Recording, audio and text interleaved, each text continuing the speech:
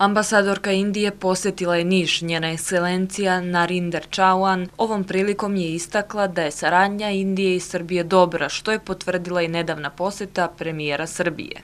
Izrazi zainteresovanosti um, razvijanja konkretne neke saradnje uh, uspeće da se realizuju uh, bazirajući se na brojnim uh, ugovorima Na prijemu se razgovaralo o saradnji kako u oblasti nauke, tako i u drugim oblastima kao što su ekonomija, privreda i turizam. Kad je u pitanju grad Niš, neka kompanija iz Indije naprave jedan korak, mi ćemo napraviti dva koraka u smislu privlačenja investicija i davanja dobrih uslova za ovaj, njihov razvoj. Naravno, govorili smo o turizmu, o novim mogućnostima koje pruža Konstantin Veliki, koje pružaju e, direktne veze i letovi sa evropskim destinacijama, o tim novim komparativnim prednostima grada Niša u odnosu na druge gradove u Republici i u međunarodnom okruženju kada je turizam u pitanju. Ambasadorka je u Medija centru održala prezentaciju i te programa koji država Indija sprovodi u Srbiji.